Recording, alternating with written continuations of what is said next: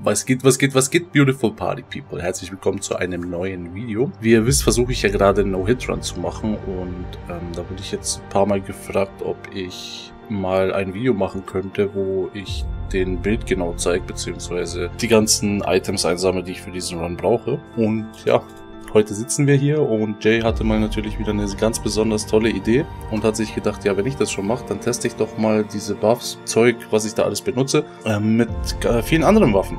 Und ja, es gab ein paar Überraschungen und das habe ich gemacht und ich habe es halt dann so gemacht, dass ich Waffen, die vom Schaden her nicht mehr mithalten konnten, beziehungsweise wo ich gemerkt habe, hey, so würde ich das nicht spielen, habe ich dann halt auch rausgenommen. Also wundert euch nicht, wenn im Laufe dieser Vergleiche, nenne ich sie mal, immer mal wieder eine Waffe wegfällt. Und ja, ich würde sagen, wir legen los und viel Spaß mit dem Video. Ach so, und über ein Like und ein Abo würde ich mich auch freuen. Vielen Dank, beeilen Sie uns wieder. Als allererstes holen wir uns die gesprungene Kristallstachelträne und den Axt-Talisman. Dazu reite ich immer zur Festung Halt, weil ich mir als eins meiner ersten Items immer das Deckbus-Medaillon dort hole und von da seht ihr hier auf der Map einfach gerade hochreiten. Und das eine ist beim niederen Erdenbaum und das zweite ist direkt gegenüber in der Ruine. Und das Coole daran ist, ähm, beide stacken miteinander und verstärken beide aufgeladene Angriffe. Die Träne einmal 15% und der Talisman 10%, sprich wir bekommen einen Schadensboost bei aufgeladenen Angriffen um 25%. Und das ziemlich geil ist. Ne? Nochmal ein Viertel Damage drauf. Schmeckt. Und danach reiten wir zu Malikas Kirche und holen uns noch die Physikflaske.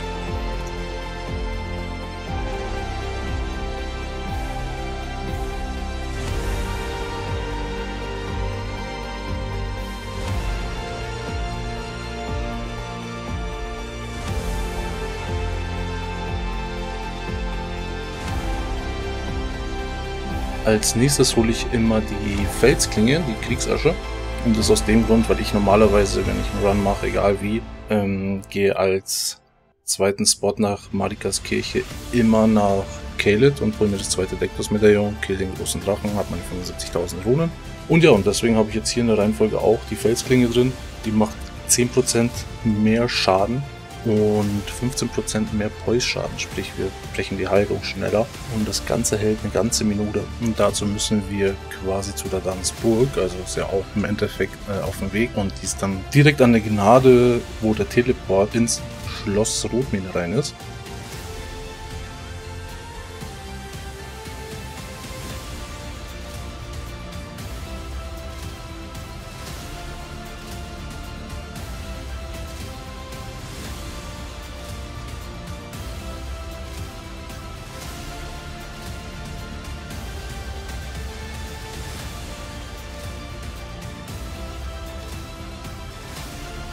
So, back to Limgrave. Als nächstes holen wir uns den Stärkeknoten. Der gibt uns plus 10 Level in Stärke für 3 Minuten. Und danach quasi direkt beim Nachbarn töten wir den Ritter, der uns den goldenen Schwur droppt als Kriegsasche. Was ich nach dem goldenen Schwur immer mache, das ist für euch absolut optional. Ich hole mir noch Bernals Klangperle, indem ich ihn töte, um mir den Schachzug der Assassinen zu holen. Dafür muss man aber erstmal Haus Vulkan beigetreten sein, damit man das dann in der Tafelrunde abgibt und sich die Asche kaufen kann. Ansonsten funktioniert das nicht. Aber wer das genau sehen möchte, kann ja gerne mal meine No-Hit-Run-Streams kommen und sich das dort mal anschauen.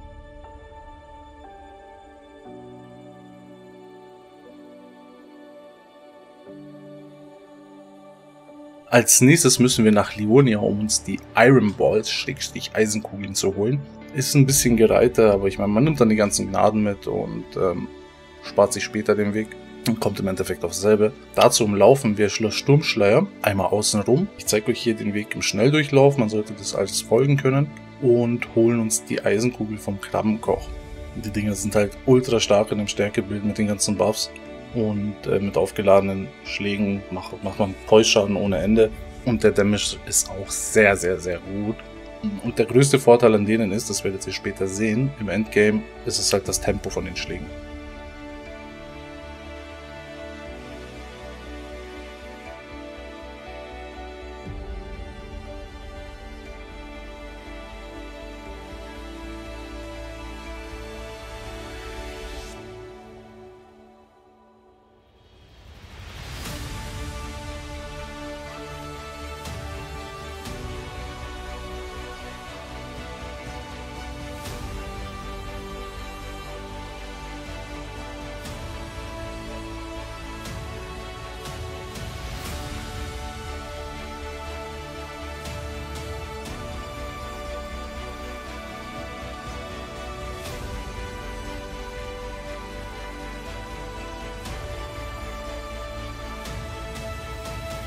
So, als nächstes habe ich hier die blaue Tänzerin, den Talisman. Der gibt 20% Damage bei geringer Ausrüstung. Ich weiß nicht, warum ich in dem Run das andersrum gemacht habe. Normalerweise läuft man nach den Eisenkugeln zum Aufzug hoch von Dektus ähm, über EG und so weiter und holt sich eine Gnade. Also ich hole mir da immer eine Gnade, ähm, um Radan halt auch gleich zu, äh, zu triggern fürs Festival. Ich hole mir auch die Klangperle dort, die zweite im Altus-Tunnel und nimm da eigentlich immer Shabriris Geheul mit. Keine Ahnung, warum ich es diesmal andersrum gemacht habe. Ich würde euch auch empfehlen, es andersrum zu machen, weil keine doppelten Wege und so. Und ja, danach habe ich hier Shabriris Geheul geholt. Gibt auch nochmal für 40 Sekunden 25% mehr Damage. Ja, und jetzt fehlt uns nur noch ein Buff und dann sind wir eigentlich komplett durch. Flamme gibt mir Kraft, dann habe ich mir die Waffen geholt und dann geht's los zu den Bossen.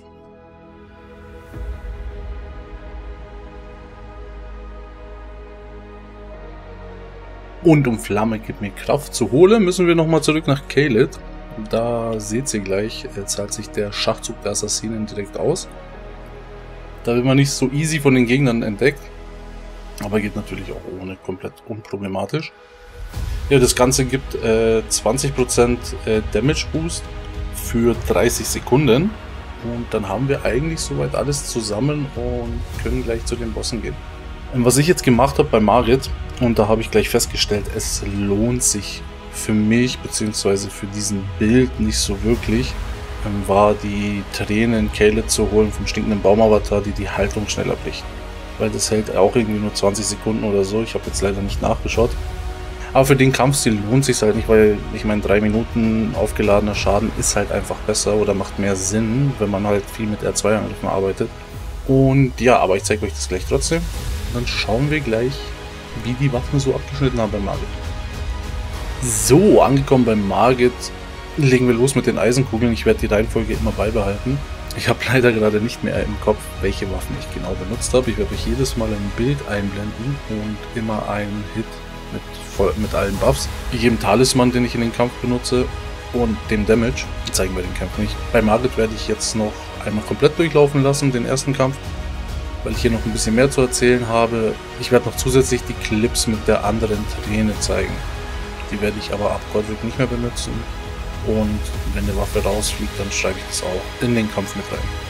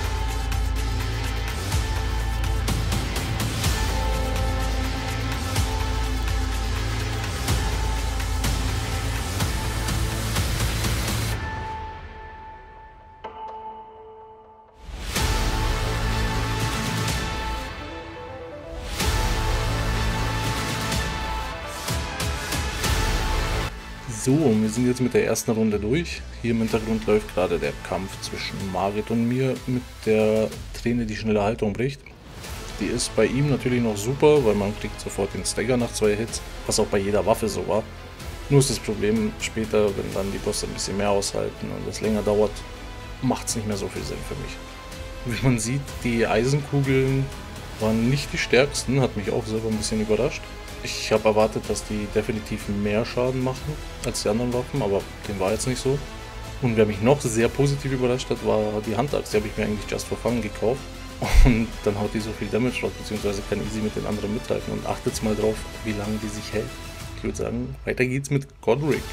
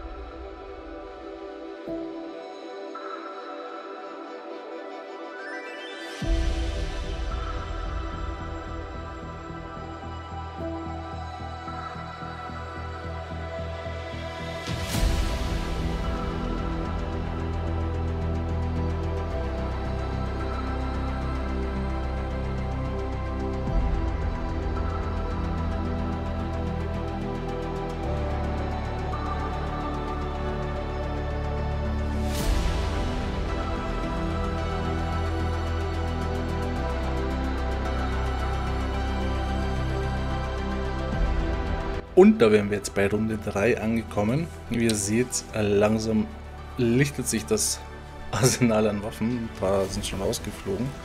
Spoiler, das Krummschwert wird auch in dieser Runde rausfliegen, weil es leider von dem Moveset, von diesem Doppelschlag auch wieder nicht wegen am Damage, genauso wie das Speer. Bloß dieser doppelte Schlag ist einfach zu langsam. Es war wirklich einfach ein Frust. Ab Morgoth habe ich habe es bis zum Ende mitgemacht mit, äh, mit den Waffen, aber es war zu frustrierend. Und ich lasse euch hier einmal den Radarfall komplett durchlaufen, dass ihr seht, mit den Buffs und so. Und bei allen Waffen läuft es natürlich alles gleich.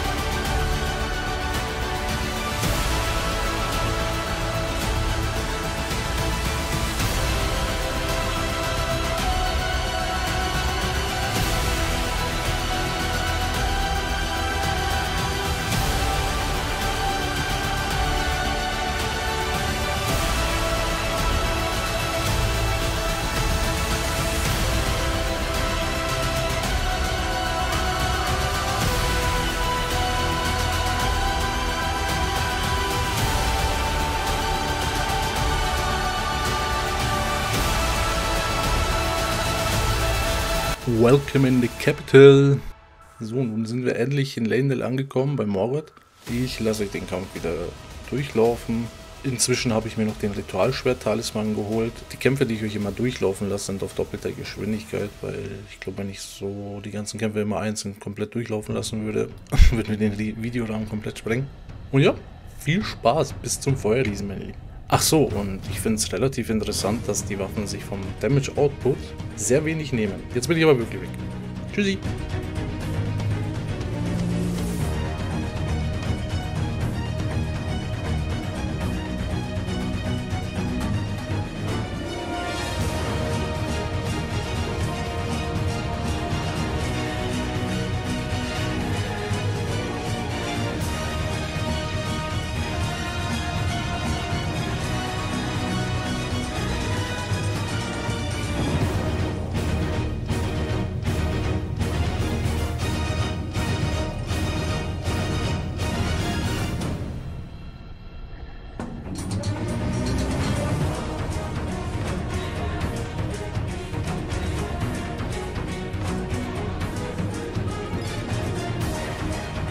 So, nun sind wir beim lieben Feuerriesen.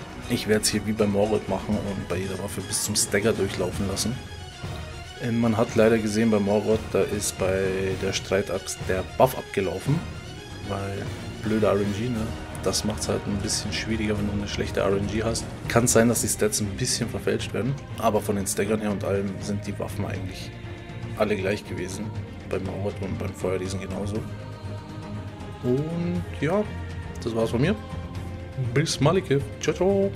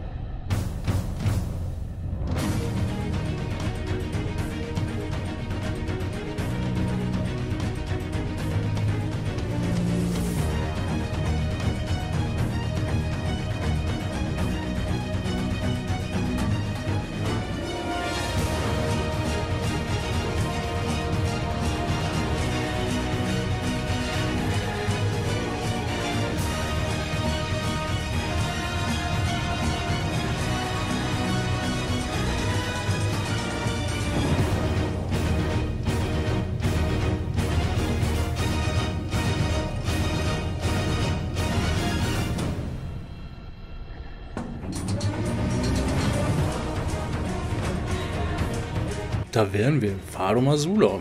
Und jetzt kommt halt der Teil ab, wo die Eisenkugeln einfach besser als der Rest der Waffen werden.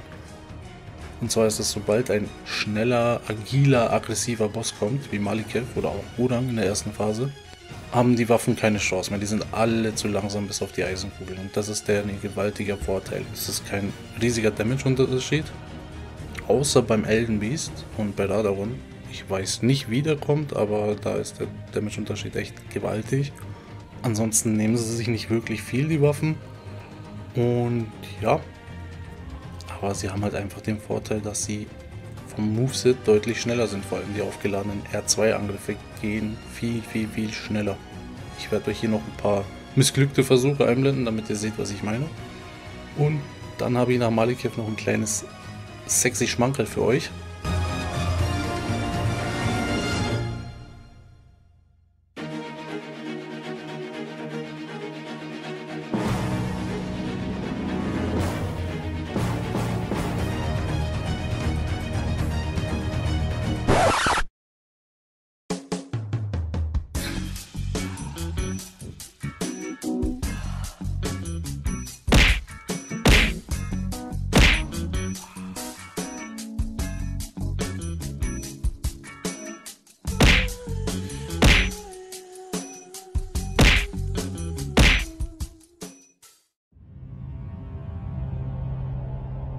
So, nach sexy offene Tanzeinlage kommen wir nun zum Ende des Videos. Mein Fazit ist, die Kugeln sind vom Damage gar nicht so viel besser als die anderen Waffen, die ich jetzt im Test mit drin hatte.